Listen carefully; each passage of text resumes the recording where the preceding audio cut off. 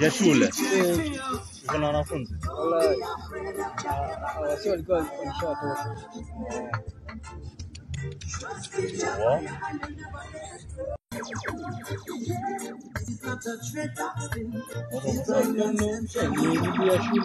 Ya shule uko na wanafunzi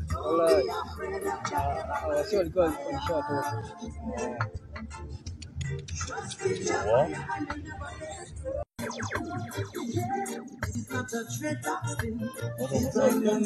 ni ya shule ya na wanafunzi?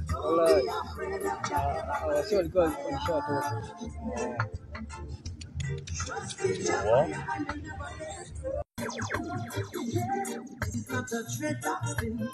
Touch me, touch me.